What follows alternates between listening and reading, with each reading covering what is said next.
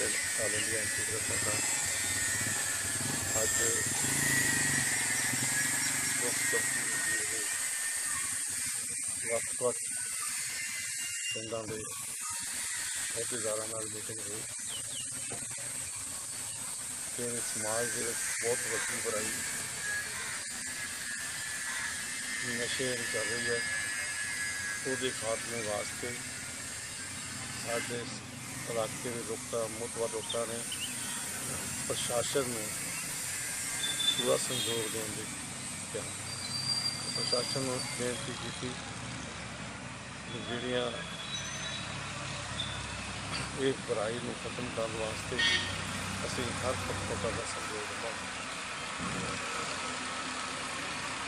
ਇਹਦੇ ਲਈ ਨਾਜਿਕ ਅਤੇ ਧਾਰਮਿਕ ਆਗੂਆਂ ਨੂੰ ਅੱਗੇ ਆਉਣਾ ਚਾਹੀਦਾ।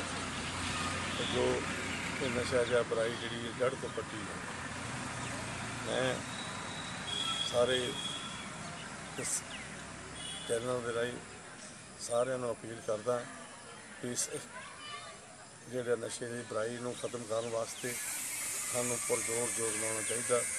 ਜਿਹੜਾ ਨਸ਼ਾ ਵੇਚਦਾ ਆ, ਉਹਦਾ ਸਮਾਜਿਕ ਬਾਈਕਾਟ ਕਰਨਾ ਚਾਹੀਦਾ।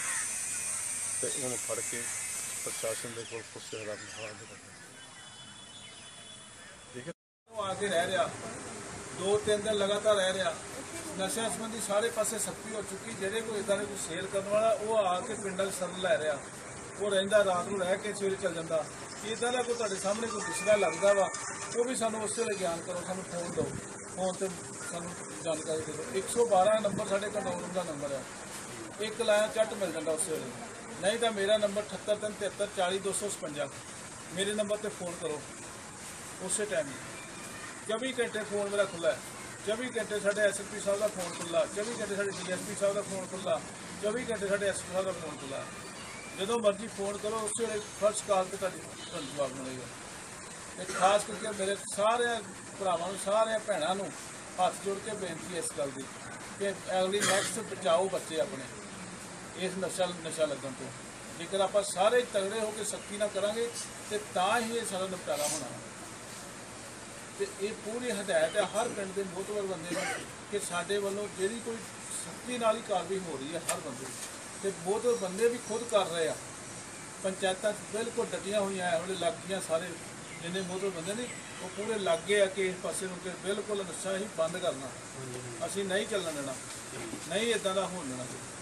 ਜੇ ਕੋਈ ਬਾਹਰੋਂ ਆਉਂਦਾ, ਕੋਈ ਦੱਸਦਾ, ਕੋਈ ਲੱਗਦਾ ਕਿ ਤੁਹਾਨੂੰ ਕਿਆ ਬੰਦਾ ਸ਼ੱਕੀ ਆ, ਉਹਨੂੰ ਫੜੋ ਉਸੇ ਟਾਈਮ ਉਹਨੂੰ ਪਿੰਡ 'ਚ ਫੜ ਲਓ, ਫੜ ਕੇ ਪੁਲਿਸ ਨੂੰ ਉਸੇ ਵੇਲੇ ਇਤਲਾਹ ਦਿਓ ਦੀ ਉਹਨਾਂ ਕੋਈ ਕੁੱਟ ਮਾਰਨਾ ਕਰੋ, ਪਰ ਉਹਨੂੰ ਫੜ ਕੇ ਉਹਨੂੰ ਉਸੇ ਵੇਲੇ ਸਾਡੀ ਇਤਲਾਹ ਦਿਓ ਪੁਲਿਸ ਨੂੰ। ਉਹ ਤਾਂ ਜੋ ਬਣਦੀ ਕਾਨੂੰਨੀ ਕਾਰਵਾਈ ਉਹ ਕਰੀਏ। ਠੀਕ ਹੈ ਨੀ ਇਸ ਕਰਕੇ ਮੇਰੇ ਵੱਲੋਂ, ਪੂਰੀ ਤੁਹਾਡੇ ਵੱਲੋਂ ਹਰ ਪਾਸੇ ਸਹਿਯੋਗ ਹੈ। ਜਦੋਂ ਮਰਜ਼ੀ 24 ਘੰਟੇ ਮੈਨੂੰ ਫੋਨ ਕਰੋ, ਮੈਂ ਤੁਹਾਡੇ ਨਾਲ ਉਸੇ ਵੇਲੇ ਰਹਿ